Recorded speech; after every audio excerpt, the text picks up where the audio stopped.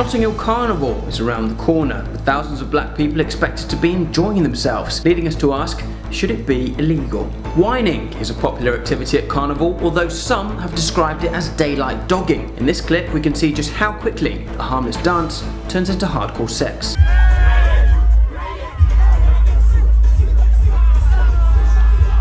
Sources say the woman's back was broken in 72 places and that she's now pregnant with three children.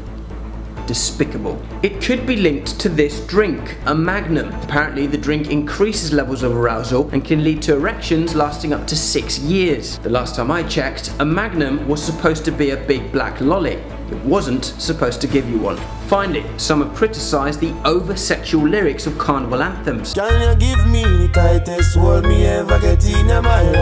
What language is he speaking? Why is he milking an imaginary cow? And what is the tightest hole he's ever been in in his life? So many questions, too little answers. Perhaps it's time that Notting Hill Carnival became not in Hill Carnival. Barty Crease, BBC News.